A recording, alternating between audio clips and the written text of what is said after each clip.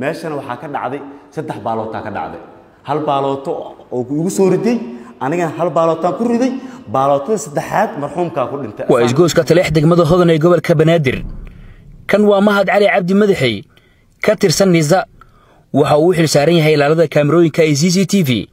Halka cadnaan muuse maxamed oo isna ka tirsan yahay qaybta guud ee booliiska gobolka banaadir mahad iyo cadnaan ayaa isku qabtay deesmada mid ka mid a gawaarida dadweynaha iyo cidda iskaleh ka gudashada waajibaadka hubinta iyo amarka fasaxidda taasoo markii dambena isku beddeshay in hub la ysku adeegsado. Waxaana toddobaatankii bishii lixaad ee sannadkan israsaaseen xaafadda taleex degmada hodan ku dhex martay dable nisa mahad cali cabdi madaxey iyo dable booliiska cadnaan muuse maxamed ku baxay cabdiraxmaan cusmaan muuse oo ku holanaa xalinta taagtaagii ka dhex jiray. Dablayaasha nisa iyo booliiska ka kala tirsan dhacdadaas ayaa ilaa iyo halkan soo gaartay oo maxkamadda darajada koowaad ee ciidamada qalabka sida ah. Waxaana loo fadhiyaa in wax layska weydiiyo dhimashada cabdiraxmaan cusmaan muuse guddoomiye shuute iyo weydiinta mahad iyo cadnaan. Kaasuu leeyahay waayo tikidka sheegay ka xaqiiji maado. Isla mar ahaantaas tikidkaa ka xaqiijina ani waxa leeyahay keen tikidka. Tusi markaas taleefonka ku jiraa taleefonkeeda ka fiirina wax tikidaa kuguma jiro. Wuxuu go'aan dacoonaya gabaraa gaariga u saaran leedahay gabadhaas taleefonkeeda uu ku jiraa ee soo baxaa ku tuso maysan sameyn gaarigii maysan istaagsanaan ayada gudaha u gashay. Mar alla markii gudaha u gashay gaarigina uu madaxa kula jiray jagboontiga. Waxaa ku yidhi shaqada waa la bilaabo ilaan goofani waa la furay. Muuqaalka waa daawan mahad tale muuqaalkad waa daawanayna waa aragna mugta sax gudoomiye qofkan halka dhinaca kalen la taagan tahay dhinacaasna la taagan tahay Dhinac- oo aad la hadlaysid ma taqaanid miya adig aqoon mulhid miya ma aqaani taas waxaa kaaga jaahil bixinaa haddii aqoonsho qofka ani aan aqaano qofka muwaayig report looga diyaarinaayo oo ilaahay kuma darnaado loo weydiinayo aqoonsi ama emergency warqadda uu wata loo weydiinayo waxay tahay in mas'uuliyadda qofkaasi la xaqiijiyo meel loo raacdo la helo haddii qofkii tikid laga haayo laga haayo ee sheeg eedii dowladda laga haayo qofkii meel loo raacdo leeyahay gaarigabo haddii qof aniga aan aqaano ama waalida ama asxaaba ama qaraabaa uu yahay anigaaba damaanan karo mas'uuliyiinta meesha joogta gaboonta inaan la hadli karo si toosa ugu tegi karaabo ma ka raadiyeen wax tixraaca iyo wax aaribood ku bixi maba ka raadiyeenbo muuqaalka marka la fiirinayo. Sax. Qofka wax diidaaya iyo qofka wax daynaya sax. Qofka wax inuu daayo raba adaa u eg. Maxay tahay? Oo oo oo inaad ku dagaalanto saaxiibka kula dagaasho oo baash uu mar dakiinaya alaala markaa tikidka ka waani as muranka wuxuuba ka bilaabanaaba. Gaari aa soo xareyno adaa ii keento cabashada iigu keentay. See mar labaad u celinaynaa iyo adiga wax yar waa dhaqaaqa xitaa inoo dhaqaaqa. Markaas waa markuu goofana xiraa gaariga markii la baarayo goofanaa keliya lama furo. Waxaa la furaa gadaalaa la furaa afar dalbadaa la furaa hal askarina ma baaro. Laba askariyaa baarayso. Askari nabadsuguda iyo askari boliisa gaariga habraac muu dhamaystirmaa hal askari hadduu baaro ama boliis ha baaro ama nabadsugud ha baaro muu dhamaystiran kaamirada waa laga soo qaylina gaarigas waa la soo celina celis waayaba maxaaba la baaro mahad sax. Waddadan dher dham naga dhaaf. Waxaan rabnaa inaan fahno marka koowaad adaa isdhaxday qofkan hala fasaxo soo maa saas ma ani warkaaga. go'aanka ani maahan. Ani waa soo gudbiye gudbin waa qofka adaa gudbiyo soo soo jeediyey in qofkan la fasaxo maadaama dedegsan tahay. Saas soo maa ma. soo gudbin ani. Ani cabashadeeda haddaaba aa- deji karo anaa soo xareel anaa u tooli lahaa anaa u gudbin lahay ayadaa gudbisanaya cabashadeeda.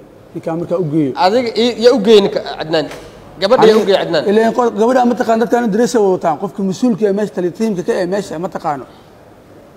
Soo maa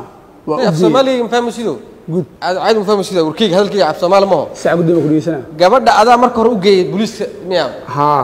Adaa u geeyey? geesmada waxaa uga geeyay aniga in ninkan uu go'aanka uu leeyahay oo ana aan go'aanka lahayn waa soo geli karin. Adaa u geeyey marka hore. Si mushkiladeeda u sheegato loona fasaxo marka dambena qofka dagaalka ku muujinayo ka dagaalamaya meesha adiga waa gud taasaa kaa jaahil bixinaa Aye. fahansiinaa taas waxaa sababay qofkan ninkan shaqadiisoo gutay ah asaa shaqo wuxuu leena soo daayo inuu celiyo. Aniga shaqadeeda waxay bilaabanaya gaariga marka ogolaansho loo sameeyo inuu gaariga meeshu istaago ay bilaabanaya ilaa gaariga ogolaansho loo sameyn aan soo gelin shaqada ka qabsanaya meesha maba taalabo gaariga markuu soo istaago oo habraaciisa la dhammaystirayo markaas aan sabir ka qaadanaa. May habraac iyo awood iyo awood la'aan dhab meel iska dhig. Qoftaan aa keenta adiga. Ninkii aad u keenta maa haddana ku- dhahayo anaa deehay adima deehaysid aad maa iska dii macna. Aniga waxa ka waaya tikidka markaasuu gaarigan waaba keentee? Waaba keentee? Adi marka hore intaa soo socon wuxuu u malaya ninka inaad tikid bixin ninka soo hubiyey. Aniga weli waxaa iigu dhiman qofka. Waxaa u soo daba kaca waxaas inaad dhamaystirta waa wax iigu dhiman. Ila wax toos cada kama aanan helin. Dagaalka meesha ka dhacaya iyo biskoolad la baxaaga Aflagaadada qofkii waa- qofkii in la aflagaad- gudbiya hartaa soo maaha aflagaado waa taas aflagaada imaade aflagaado waa taas. Haddaa adi aad diiddo aniga aad- dee waxaa ku qoray adaa kugu qorana gaarigan siidays yani se igu igu qoray waa markaas waa markuu xirnaa goofana adaa kugu qoraa goorba gaari adaa kugu qoraa ani hadduu inta ka baxbo in adi kugu qoraa. Isaga u dhiiba microfonka barti aan joogay oo wakhtigaas oo ugu yimid aan iskala soo dhaqaaqnay intaaba laamiga baabuurka kaleoo meesha broseska baabuurta lagu baaraya yeelay intaan soo gaarin baabuurkiiaba ka soo hormaray. Waa celshay baabuurka daroobalkana waa ku qeyrshay waxaan dhahay dib u noqo tag bosishinka oo waxay ahatay aad taagneed tagaa dhahay. Kadib markuu tegey gaari kalaa soo galay gaari kale oo cadaa soo galay. Gaarigaas kale markuu soo galay waa ka dira meesha.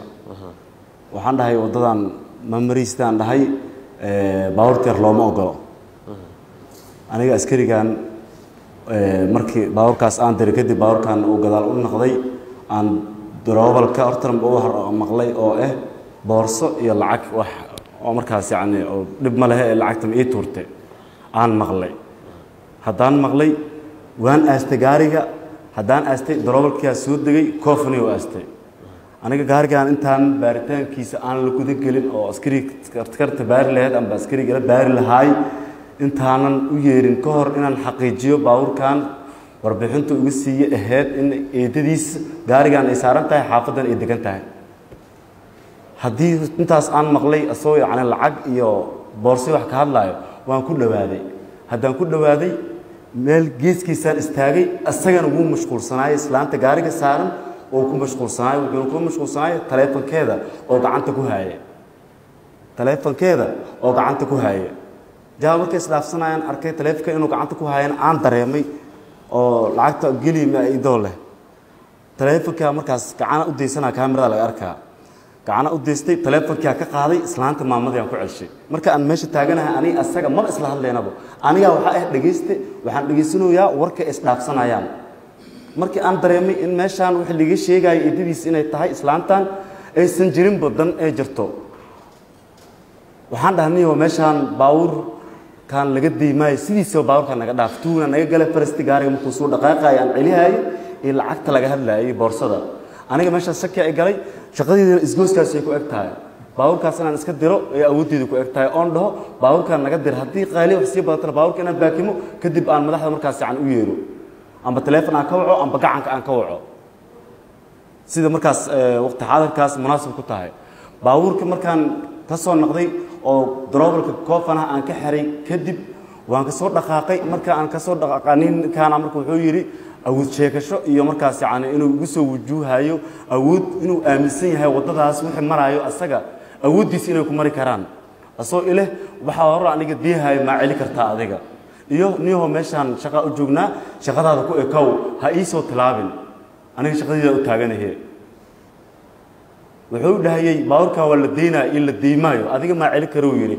Muuqaalkan haddii loo raadiy walayla farow jug ugu siiyey xabadka hadduu jug ugu siiyey anigana siduu ii siiyaan u siiyey jugaan siiyey isagana bistooladdu ila soo baxay aftar. Markuu bistooladdu ila soo baxay kadib waa ugu garaacay. Ninka kale gaariga weli daroobalku ka ahaay ayaa markaas waktigaas dhexdeena taagnaay hadduu igu garaacay oo asaga xaggiisa yani maxay ahayd sikiyey anigana aan waxuba wadanin gacanka aan ku shaqaynayey oo dhinac igu jiro waqti xaadirkaas waxuba aan wadanin oo asagana i leeyahay meeshaan baabuurka waa laga diiyaha ma celi kartid aniga waa dhaqaaqay waxaan u dhaqaaqay shaqadeyda inaan dhammaystirto gaarigaas aan meesha aan ka celsho. Oosan ii soo gudbinbo maadaama asaga awoodda uu isticmaalaya wixii markaas meesha dhacdada ka dhacdana markaas inaan gudbiyo oon sheego laakiin baabuurkaas aan meesha ka wareejiyo haddii la isweydiina meesha kaamiraaba ku xirneedbo kadib aniga qorigaan soo doontay.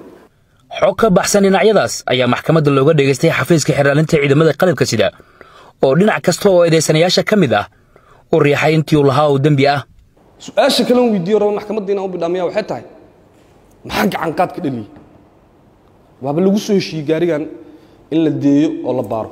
Maxaa dhaliyey in la- laysku gacan qaado?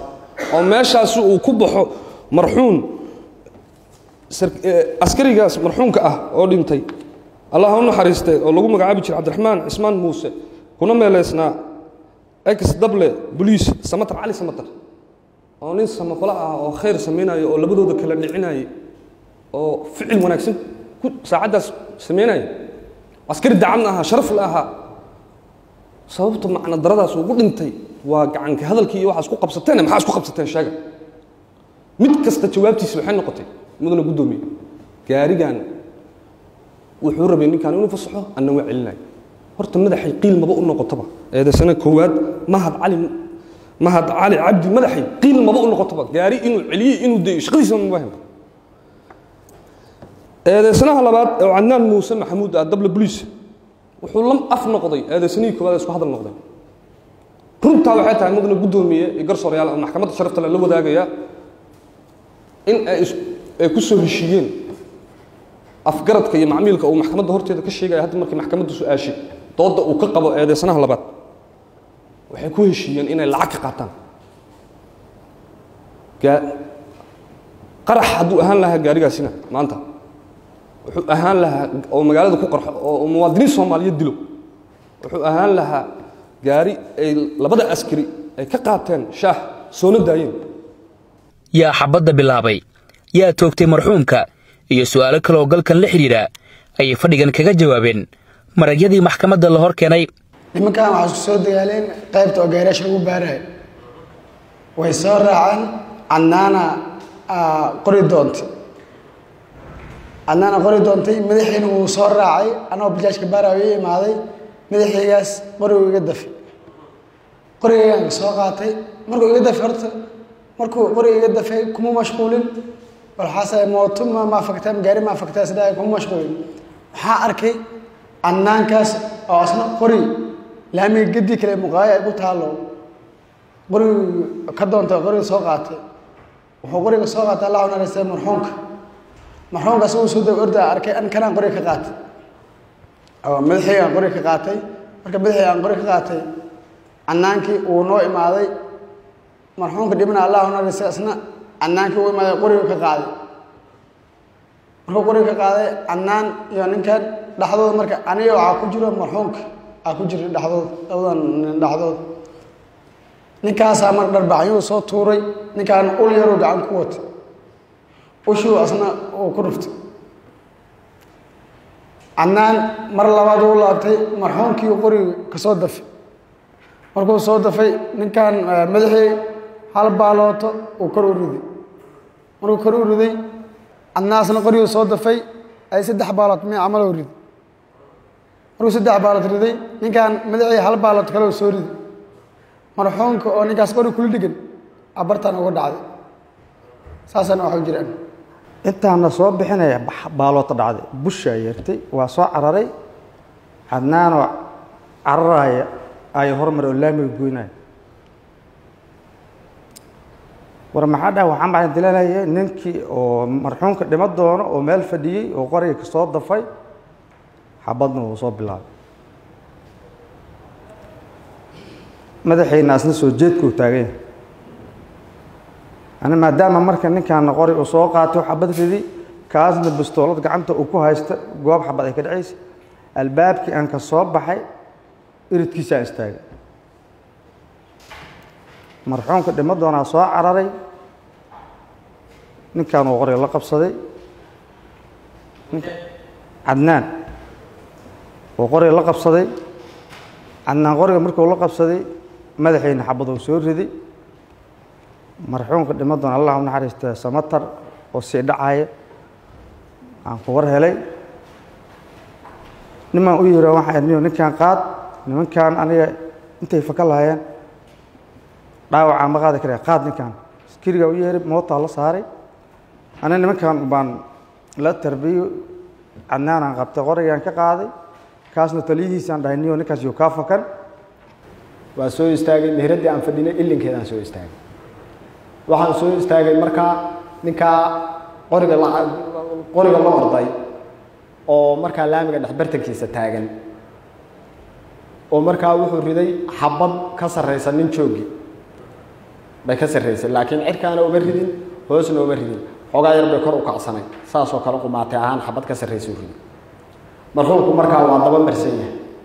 Barbarkiisaa gadaale buu wuxuu u daba marsan yahay dhanka bidixdaa say ila ahayd markaa laamiga ka buu islahaa waxaa xabadda bilaabay yarka kale. Ninka xabadaha badan riday waa isaga. Xabadiisii ugu dambeysay markay dhacday baa marxuumkana soo dhacay. Baara ka tirsan qaybta baarista dembiyada c i d ayaa isna soo bandhigay natiijo baariseedka la xidhiidha kiiskan. Markuu marxuumkii cadnaan kula dhegay qorigii inta aysan qoriga uusan ka soo faramaroojin marxuumka ayaa mahad bistooladii wuxuu ku riday. Eedaysana cadnaan oo horteyda fadhiya iyo marxuumka oo isku dheganbu biskooladii ku riday. Biskooladii waxay feedhaha kaga dhacday xabadii hal baalato feedhaha kaga dhacday marxuumkii waxayna ka baxday dhabarka dambe oo garabka bidixa bay ka baxday. Marxuumkii saasuu ku dhacay. Natiijada baaristii markaan baarnay goobtii tagnay markaan cadaymuhu qornay dhammaan oo dhan waxaa noo soo baxday in eedaysana mahad uu dilay marxuumka oo lagu magacaabi jiray samatar cumar samatar ku meelaysnaa magaciisa saxdaana la yidhaahdo cabdiraxmaan cismaan muuse. Aan daawana markan sharaxadda lagu dul istaagay muuqaalo laga helay kaamarooyinka c c t v oo xidhaaliya cabdibaasid madaale ku soo bandhigay doorarka eedaysanayaasha feerkii waa dhacay. Wuu baxay ninkaan. Markii feerkuu dareemay ninkaan isqabo qabo qabo hal mar madaxay markii feerka uu dhammaaday uu arkay inuu ninkaan qorigii uu laacaayo isla markiiba bistooladiisu la soo baxay. Wuxuu galay difaac madaxin goobtiisu difaac ka galay. Waxaa kuu soo haray eedeysanaha labaad qofka kula dhegan oo jidka la taagan oo qoriga kula dhegan waa marxuumkii marxuumku markuu kula dhegan yahay marka haddii ayagoo hadda bowsta sida aan fidooga muuqaalka ku aan ku istaajinay haddii xabadda uu ku ridi lahaa madaxay labadoodaba xabadda waa ku dhici lahay balse in ay xabadda ku dhici weydo eedeysanaha labaad oo ay ku dhacdo marxuumka waxaa keenay siidaa horey ka qabo xanuunkii dhulku ku dhacay. Ninkaan xanuunka saaxiibkiisii celinaya xanuunkiisi mabuu jeedeen ninkii u socdaa uu rabaaba inuu iska soo dhiciyo uu soo dilo. Muna guddoomiyey garsooreel maxkamadda sharafta leh qaabka foolxumada badan ayuu u dhintay marxuumka aan hadda maxkamadda horteeda aan ugu eedeynayno dilkiisa eedeysanaha koowaad. Eedeysanaha labaadna isku dayga dil uu sameeyey. Ku-xigeenka xeraalyaha guud ee ciidamada qalabka sida ayaa maxkamadda ka codsaday in eedaysanayaashan lagu qaado qodobadii sharciga ay ku soo eedeeyeen. Eedda aan ku eedeynayno eedeysanaha koowaad ee ah dilkaas inuu geystay aan caddeemaydana maxkamadda hor keennay waxaan caddeennay qaabkii markii dhacdadu dhacaysay ee wax u dhaceen in uu asagu ahaa eedeysanaha koowaad uu ahaa. Qofkii rabay in uu xadgudub shaqada ku sameeyo kowdii hore ee falkani bilaabmay. Labo in uu ahaa qofkii aaday ee sheekada gaarsiiyey gacanka hadal. Saddex inuu ahaa qofkii ugu horreeyey ee hub loo dhiibay oo lagu shaqaynayo uu la soo baxay raggii ay shaqo wadaagga ahaayeen. Afar inuu ahaa oo maxkamadda horteedana ka caddaatay in uu saaxiibkii u sheegay haweeneedani waa eedaday markii dambana uu maqlay saaxiibkii sida maxkamadda horteeda aanu ka caddeennaba in uu weydiinayey lacag wax aqoon ah oo ka dhexaysina aanay jirin ee arrinta dhanba ahayd dan inuu jegboontiga ku mariyo gaari aanu aqoon u lahayn iyo qof aanu aqoon midna u lahayn. Waxaa kaloo aan caddeennay markii uu hubka la baxay uu gacanqaadka sameeyey oo eedeysanaha labaadna qoriga soo qaatay in uu eedeysanaha labaad waanu uga yelin oo abadaha xabadaha ku riday weliba si toosa ugu aadiyey isaga oo eedeysanaha labaad marxuumka uu ka celinayo inuu asaga uu dhibaato gaarsiiyo. Intaas oo ficil ah waxa uu si kasa u sameeyey eedeysanaha koowaad. Una bareeray in uu bistooladiisii intuu la soo baxo uu raacsado uu ku aadiyo in uu dilo muwaadin soomaaliyeed oo ciidanka qaranka ka tirsan oo shaqo wadaag ahaayeen. Ujeeddadiisuna waxay ahayd inuu wax dilo ficilkii bistooladii uu la soo baxay uu ridina natiijadeeda waxaa ka dhalatay dilkii oo uu ku dhintay marxuumka sidaa daraaddeed eedeysanaha koowaad waxaan maxkamadda sharafta le ka codsanayaa in qodobada aan ku soo eedanay aayaadka qur'aanka ah ay ku xukunto oo weliba qisaasta ugu culus ay saarto oo ah dil toogasho. Si ay ugu tusaale qaataan ay tusaale ugu noqdaan ciidanka amniga haaya ee shaqaynaya ee ayagoo kale ahaayeen. In haddii ay khaladkaasoo gala galaan ay sugaysa ciqaabtaan oo kale. Eedeysanaha labaad haddaan imaado dable boliis cadnaan muuse maxamuud. Waxaan maxkamadda horteeda ka caddeennay in uu cadnaan baxay uu marxuumka u tegey qori ka soo qaatay. In cadnaan qorigii markii uu soo qaatay uusan tanaasuline uu xabado furay asagoo ka baaqan kara inuu xabado furo. Cadnaan wuxuu ahaa mas'uulka labaad ee checkboyntiga wuxuu awooday inuu ka baaqdo. Wuxuu awooday in uu dacweeyo. Sida uu maxkamadda hortiisa ka sheegay iyo sida aanu caddaynayba. Wax walboo loo geystay oo shaqadiisa loogu xadgudbay may dhammeen in uu isku dayo inuu dil u geysto saaxiibkiisa shaqo wadaagga ahaayeen. Cadnaan ujeeddadiisa uu qoriga u soo qaatay waxay ahayd sida uu maxkamadda ka hor sheegay waxay ahayd inuu gaarigaas ku celinayey balse gaarigaasi goobta ma joogin marka uu saaxiibkii xabadaha ku ridayo sida maxkamadda horteeda ka caddaatay ee markhaatiyaashii aanu keennay ay caddeeyeen xabadda uu leeyahay koraa u riday in joogga qofka uu dhan yahay maxkamadda horteeda ka caddaatay joogga qofka inta uu dhan yahay wax yar ay ka saraysay taas macnaheedu waxaa waaye wuxuu u sameeyey xabaddii aim ama target meel uu ku aadiyo. Xabaddan iyo hubkiisa iyo tababarkiisa aan maraynana mudana guddoomiye garsoorayaal maxkamadda sharafta ciidanka waxaa la baraa hubka in lagu aadiyo cadow. Eedaysanaha labaad sida aan horey ugu soo eedeynay haddana aan ku eedeynayno waxaan maxkamadda sharafta le ka codsanayna inaan isku day dilka aan ku soo eedeynay ay ku xukunto. Maadaama labada eedeysane dembiga ee galeen uu yahay ekiyaaro dembi cad. Maxkamadda sharafta waa mahadsantahay labada qaran ee u kala doodaya eedaysanayaasha ayaa mid kasta ku doodayn muwakilkiisu u ahaa difaacu nafsi.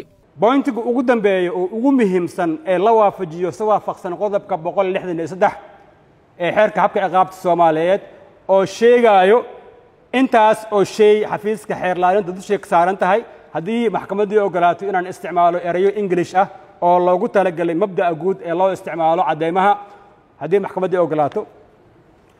Qodobkaas mabda caalami waaye waxaa loo yaqaanaa burden of proof is on the prosecutor to beyond ama to prove the case beyond reasonable doubt macnaheeda waxaa waaye xafiiska xeerlaalinta dusha waxaa ka saarnaa culayska eragaas culayska caddaynta.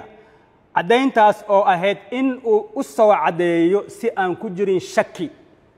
Halkaa markay taaganta ma gudoomiye garsoore halkan waxaa yaalo shaki ah in eedeysanaha uu u geystay falkaas si ku talagal ah.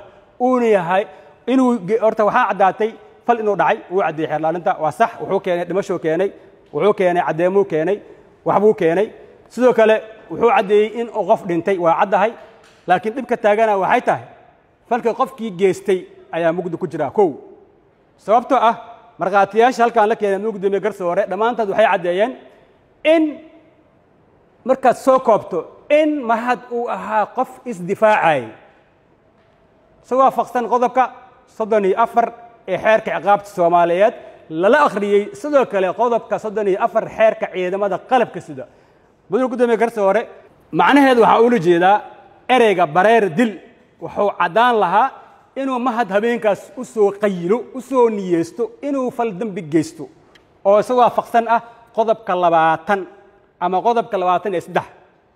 Xeerka habka ciqaabta soomaaliyeed oo sheegaayo faldembiyejada lagu galo kaska kasdhaafka iyo kama.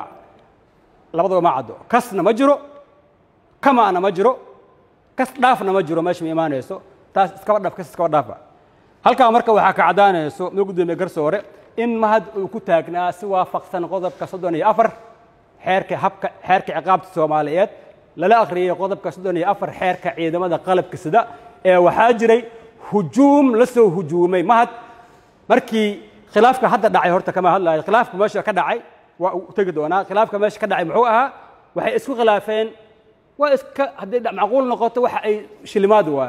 Macnaha taasna ujeedka la isku khilaafay in mahad uu saaxiib la ahaa ama qaraabo uu la ahaa maamada meesha maraysay halka kuma caddo xaanshida eedda kuma caddo. Raftirkeeda in meesha la keeno maba aheeninba xaanshida eedda maba ku caddaba. Kuma caddaba. In xataa maxkamadda laga doodo oo maxkamaddu ogolaato maba aheenin sababtoo ah xaanshida eedda waxaan lagu soo caddaynin halkan in la keeno si waafaqsan qodobka toddobaatan iyo kow xeerka habka ciqaabta soomaaliyeed oo la rabo qaabka xaanshida eedda kumaba caddaba. Haddii la sheego in maamada yacni lacag laga qaadanayay iyo in ay isku khilaafeen lacagtaas taas hadday dhacdo waxaa la rabay haddii tuunkaas uu jiri karo waxaa la rabay saaxiibkii xeerlaalinta inuu maamada waco uu hor keeno xeerlaalinta uu weydiiyo su'aalo oo ku saabsan wax kala dhexe asiga maad ayadii maad. Taas lama keenin. Marka manu gudoomiye garsoore hadalkayga waxaan ku soo koobayaa anoo ku taagan qodobka boqol toban iyo lix in mahad waxa ka dhacay meeshaas uu yahay qodobka soddon iyo afar xeerka ciqaabta soomaaliyeed. Lala akhriyey qodobka soddon iyo afar xeerka ciidamada qalabka sida. Oo ujeedkeedu uu yahay in waxa meesha ka dhacay oo dhan uusan ku talagal ahaynin uu naftiisa difaacanayay sidoo kale baarihii meesha taagnaa laftarkiisa ayaa wuxuu dhahay bahad markii wax dhacaayeen meeluu taagnaa oo bastoolada la isku ninkaan markii haddii xataa sal ku weydiiyo markii wax dhacaayeen oo ninkaan waxa uu garaacayay mahad bastooladu waa ka siistay symbol. Aan u fiiran siwaaq firmas bastooladu haystay cadnaan qure ma uusan haysanin. Markaas muxuu u dili waayey. Point waa mahad wuxuu sugaayey inuu cadnaan baxay uu qori soo qaatay. Qoriga uu soo qaatay ujeedkiisa muxuu ahaa? Inuu ku dilo mahad. Kadib mahad baaraha wuxuu yidhi difaacuu galay. Difaaca maadaama uu galay uu cadnaan qori soo qaatay cadnaan la celcelinaayey uu xabad soo riday. Caqliga saniimka ah qof kasta wuxuu siinayaa in sida ku cad qodobka soddon iyo afar haddii ay jirto xaalad adag oo naftaada khatar gelinaayo in xaq aad u leedahay in aad samayso difaacu nafsi. Halkaa marka taaganta marka qodobka boqol afar boqol soddon iyo afar oo ahaa dil kas ah meesha ma dhicin. Haddaan u imaado marka yaa dilay marka yaa dilay marxuumka. Meesha ilaa dhiiga yaalo dhiiggaas xaq u baahan yahay waa inuu meel raaca maadaama aan jirin caddaymo si waafaqsan wax loo yaqaano faldembigaas inuu geystay mahad maadaama aan la caddaynin in uu u geystay si kas ah. Mudane guddoomiye garsoore waxaan maxkamadda sharafta leh ka codsanayaa in mahad loo ictiqaadiyo loona qaato waxa meesha ka dhacay inuu ku difaacayay naftiisa. Uu ahaa difaacu nafsi. In aan la caddaynin xabadda ku dhacday marxuumka oo tiisa marxuumka maxay eeto lama hadna xabaddiisa aysan ahaynin xabaddii ku dhacday marxuumka sidaa daraaddeed si waafaqsan qodobka boqol labaatan iyo labo xeerka habka qaabka soomaaliyeed maxkamadda ay ku weyso dembigaas ayna xorriyadiis siiso. Waa maasantahay cadnaan oo aniga qareenkan u ahay waa dadaalay. Dadaalkii uu muujiyey inay qalqala la geliyey naftiisiiya qalqal la geliyey baabuurkaas maxaa ku tusi darteeda bastoolad loogu soo baxa soo sacbooley ah maxaa keena in hub loola baxo? Hadday waxba jirin. Meesha waxaa ku qarsoon su'aalo waaweyn oo in la isweydiiye ay ahayd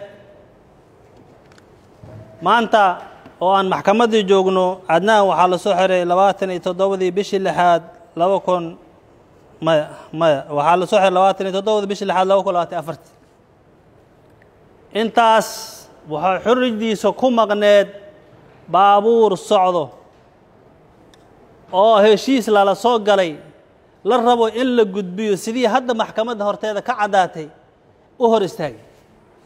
Naftiisina ay khatar u gashay.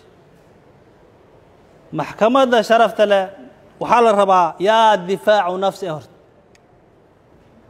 Qodobka soddon iyo afaraad ee xeerka ciqaabta soomaaliya yaa yaa yoo garab siinaya yaa difaacu nafsi. Difaacu nafsi waxaa ah cadnaan baabuura hor istaagay lala soo heshiiyey socdo meeshana maritaan aan la ogoleynin ayuu hor istaagay seed uu hor istaagtay darteeda bastoolad loogu garaacay.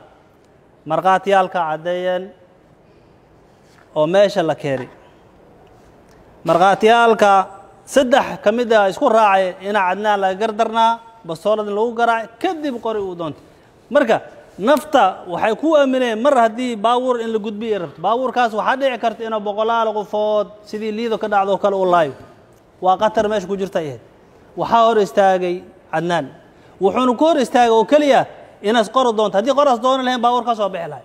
Cid ogaan laheedana ma jirin. Maxkamadda sharafta leh boqol markii aan soo istaagno qodobka soddon iyo afaraad xeerka ciqaabta soomaaliya oo difaacu nafs ah. Maanta waxay ahayd inay xoriydiisa mar hore ay siiyaan caddeen iyo markhaati. Wixii meesha ka dhacayna inuu markhaati ka ahaado ma ee sababta waxay u dhaceen oo dhanba asigaa goobjoog ka ahay. Mudanu guddoomiye garsoolayaal xafiiska xeraalyaha guud ee ciidamada waxaa laga rabay boqol iyo toban boqol lixdan iyo saddex inuu caddeeyo sidii nalkaas u ifaayo kale asu caddeeyo cadnaan wuxuu meesha ka galay oo dembi ah. Ma dhicin ma caddaynin beddelkeeda wuxuu caddeeyey inuu cadnaan beri yahay. Sidaas darteed maxkamadda sharafta leh waxaa ka codsanayaa anoo dooda ku dhiranayni inuu cadnaan xoriydiisa la siiyo eedda xafiiska xeer ilaalintine la diido number kow.